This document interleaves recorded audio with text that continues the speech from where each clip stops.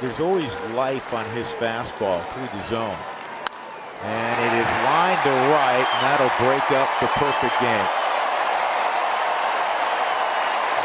After five and two-thirds, Chris Marrero punches a single to right. It becomes